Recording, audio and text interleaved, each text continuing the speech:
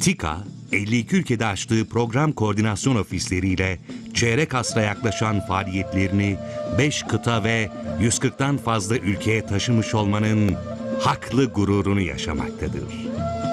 Ulusal sınırlarımızı aşan ve daha üst bir anlayışı gözeten TİKA, şimdi ise hem yaptığı çalışmaların fikri temellerini gösteren hem de bilimsel alanda çok önemli bir boşluğu dolduracak olan, bugüne kadar dünyada bu alanda yapılmış en kapsamlı çalışma olan Balkanlarda İslam, miadı dolmayan umut adlı esere imza atmaktadır.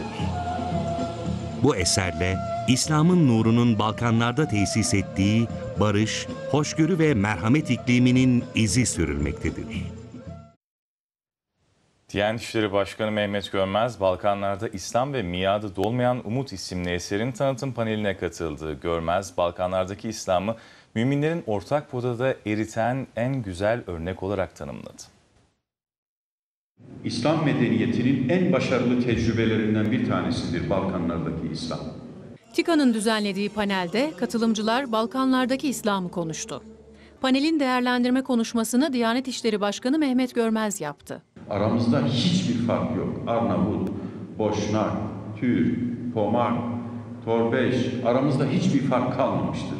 İnancın bütün farklılıkları muhafaza ederek ama bütün farklılıkları aynı zamanda ortadan kaldırarak bütün müminleri ortak bir potada nasıl eritebildiğinin en güzel örneklerinden bir tanesidir Balkanlardaki İslam. Başbakan Yardımcısı Veysi Kaynak da TİKA'nın hizmetlerini anlattı.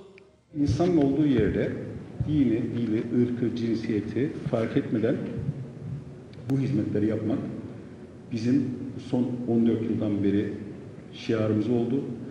Hakikaten Şili'den Japonya'ya, Moro'dan Komor adalarına kadar.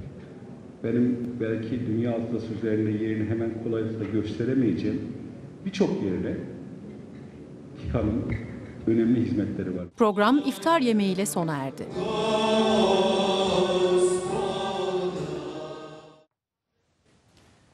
Geçtiğimiz hafta içinde Türk İşbirliği ve Koordinasyon Ajansı TİKA uluslararası bir etkinliğe ev sahipliği yaptı. Balkan Müslümanlarını temsil eden pek çok önemli isim başkentte Ankara'da iftar sofrasında buluştu. Ancak asıl bir araya gelme sebebi TİKA'nın öncülüğünde hazırlanan Balkanlarda İslam'ı anlatan 5 ciltlik bir eserdi.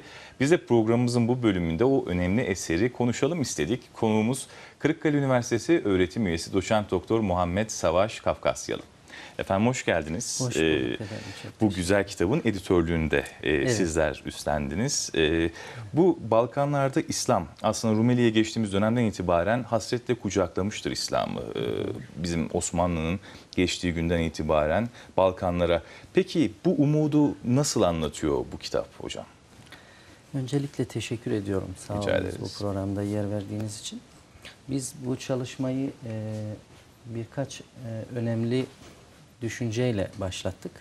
Evvela dünyada hepimizin malumu olduğu üzere İslam'a yönelik yaklaşımların hatta politikaların, stratejilerin çok yoğun bir şekilde yürütüldüğü dönemimizde İslam'ın geçmişte çok e, samimi bir şekilde hem benimsendiği hem de çok e, bir arada yaşama kültürüne e, ciddi e, ev sahipliği yaptığı, onun için bir destek sağladığı Balkanlar örneğiyle e, cevap verelim istedik.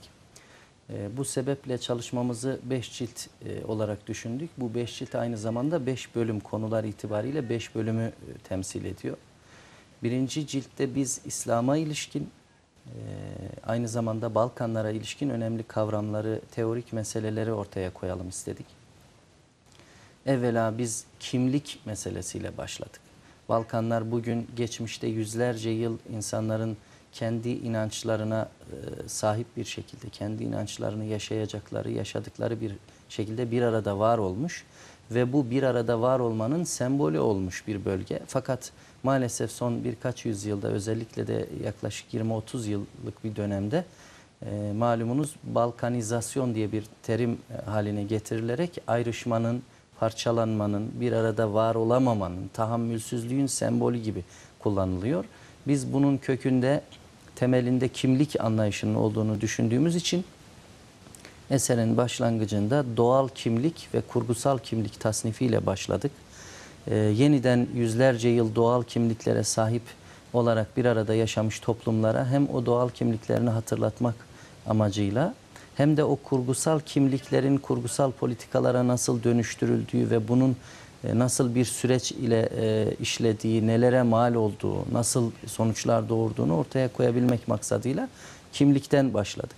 Yine İslamofobi gibi kavramların, İslam'a yönelik yaklaşımların, bir arada yaşama kültürü gibi kavramların ciddi şekilde anlatıldığı, bunun her e, cenahtan yaklaşımlarla ortaya koyulduğu bir bölüm oldu birinci cildimiz.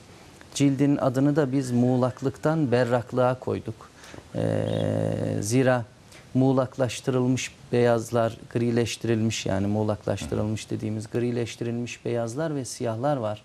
Biz bunu beyaz olması gerekenleri beyaz, siyah olması gerekenleri de siyah şeklinde net bir şekilde ortaya koyalım istedik. Muğlaklıktan Berraklığa adlı birinci bölüm. İkinci bölümümüzde yani ikinci cildimizde e, Türkistan'dan gelip e, Anadolu'ya ve oradan Balkanlara geçen e, söz ile, e, reklam ile modern hayatın e, diyebileceğimiz olduğundan başka türlü anlatma yollarıyla değil, e, tamamen olduğu gibi görünen, göründüğü gibi olan ve sözden ziyade hal ile, davranış ile, eğleyerek, yaşayarak insanlara örnek olmuş gönül erenlerinin Balkanlara gidip İslam'ı evvela anlattığını ortaya koyalım istedik. Çünkü bugün Balkan bölgesi İslam'ı kesinlikle savaş yoluyla benimsemiş değil. Oraya giden güzel insanların hayatlarını örnek olarak almış, onlara imrenme yoluyla, onların e, örnekliği yoluyla İslam'ı benimsemiş bir bölgedir. E, diğer birçok bölgede olduğu gibi bunu ortaya koyalım istedik ve bunun yine e, akademik yönlerini Türkistan'dan gelip Balkanlara geçiş sürecindeki bu İslamlaşma sürecini, İslam'ın Balkanlara geliş sürecini anlatalım istedik. Türkistan'dan Balkanlara dedik bu cildin adına da.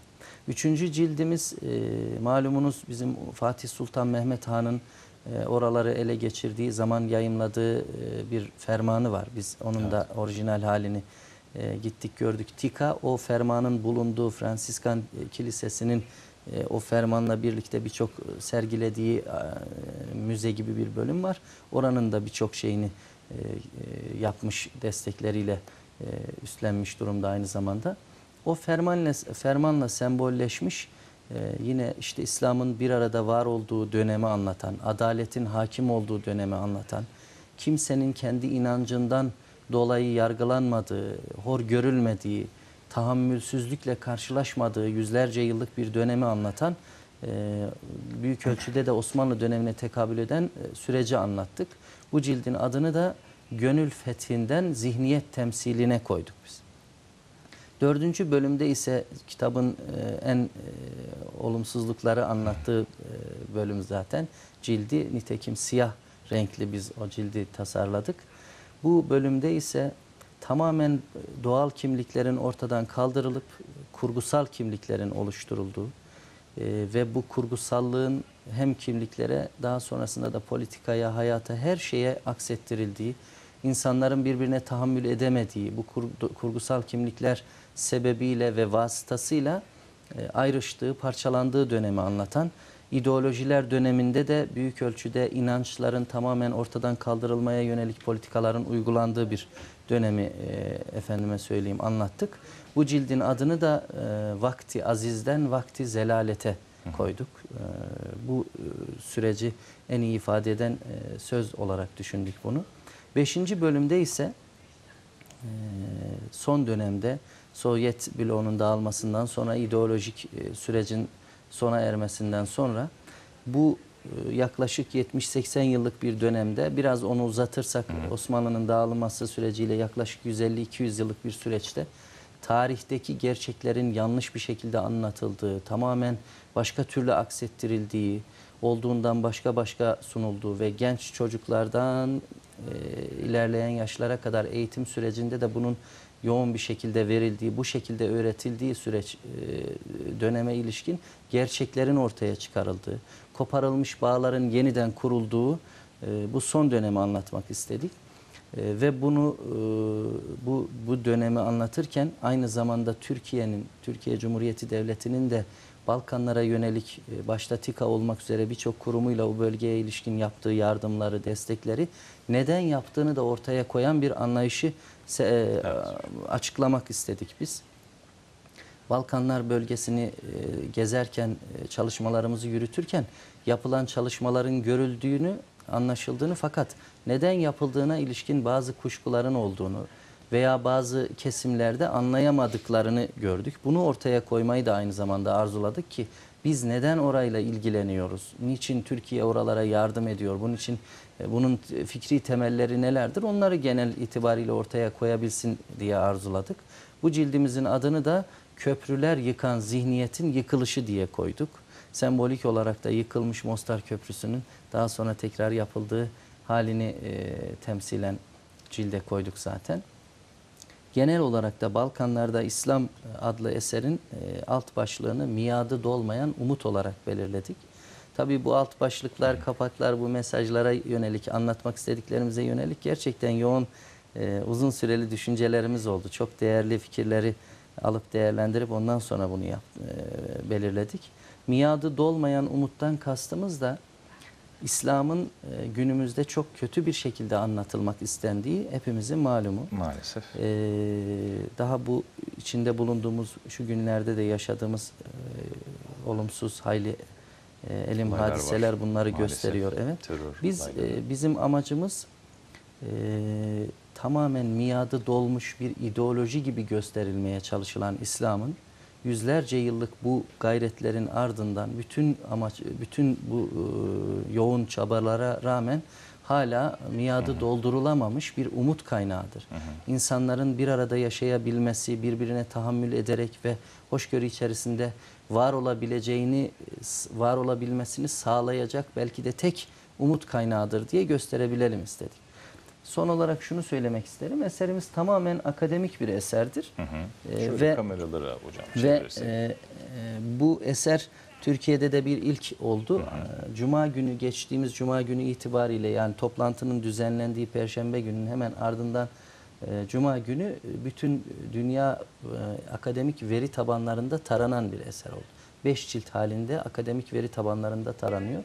Aynı zamanda TİKA'nın yayınlar sayfasından da yine 5 cildi PDF olarak yayınlanacak. Dünyanın her yerinden ulaşmak isteyenler ulaşabilecekler bu esere. Bütün Balkan ülkelerinden en önde gelen akademisyenlerimizin yazıları var. Ee, Türkiye'den de yine bu alana ilişkin çok değerli çalışmalar olan hocalarımızın çalışmaları var. Elbette ki eksikleri olacak. Elbette ki bazı şeyler e, başarılamamış olacak. ki. Biz ümit ediyoruz ki bundan sonra en yapılan azından yola çalış- çıkmak önemli Tabii olan. ki. Yani Ümit hiçbir şey ediyoruz. yapılmaması daha kötü bir şey. Tabii ki ümit ediyoruz yapılması. bundan sonra yapılan çalışmalara hem bir ilham kaynağı olur bu hem de aynı zamanda ciddi bir akademik kaynak teşkil eder. Bir de müsaadenizle şunu söylemek Son istiyorum. olarak alalım hocam Biz programımızın e, sonuna tabii ki geliyoruz. e, biz bu çalışmadan evvel Orta Asya'da İslam adlı bir çalışma yapmıştık. Evet. O da Orta Asya'da İslam temsilden fobiye diye. Bu aynı zamanda onun bir devamı. E, Bir anda ortaya çıkmış bir fikirle yapılan bir çalışma değil bu. Geniş e, perspektifli düşüncelerin ve gerçekten ciddi amaçların neticesinde ortaya koyulmuş bir çalışma.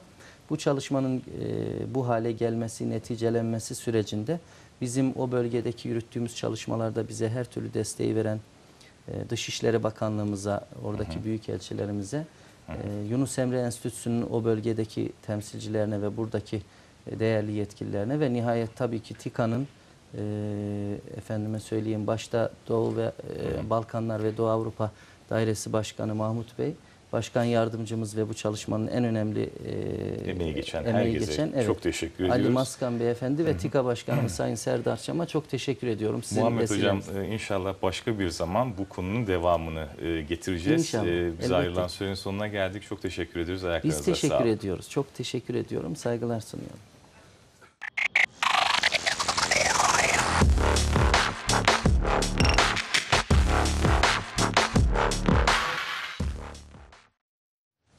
Hafta başında açıklanan bir raporun detaylarını paylaşmak istiyoruz bu dakikalarda. 2030 yılına kadar 69 milyon çocuğun yaşamı tehlikede.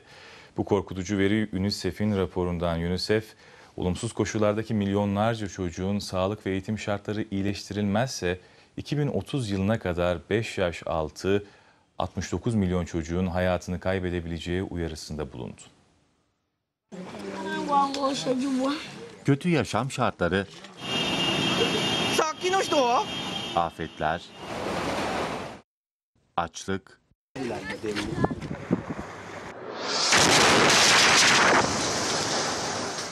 ve bitmeyen savaşlar.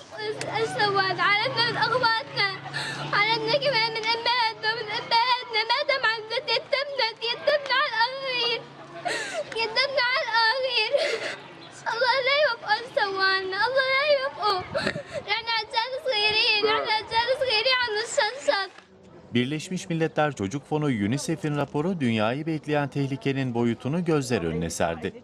Rapordaki veriler korkutucu. UNICEF'e göre 2030'a kadar 5 yaşın altındaki 69 milyon çocuk ölebilir. 2030 yılına kadar mevcut koşullar ve nüfus artış hızı aynı kalırsa 167 milyon çocuk aşırı yoksulluğa maruz kalacak. 60 milyon çocuk temel eğitimden mahrum kalırken çocuk gelin sayısı da 750 milyonu bulacak. Raporda çocuk ölümlerine dair uyarılar da var. Buna göre önlenebilir nedenlerden kaynaklanan çocuk ölümleri en fazla Güney Asya ve Sahra Altı Afrika'da görülüyor. Bu arada Afrika'nın doğusu ve güneyindeki yaklaşık 26 milyon çocuk El Niño sıcak hava akımından kaynaklanan kuraklıktan etkilenme riskiyle karşı karşıya. UNICEF çocukların karşılaştığı bu risklere karşılık hükümetlere çağrıda bulundu. Çocukların çatışmalar nedeniyle mülteci konumuna düşmemesi için sorunlara siyasi çözüm bulunması gerektiği vurgulandı.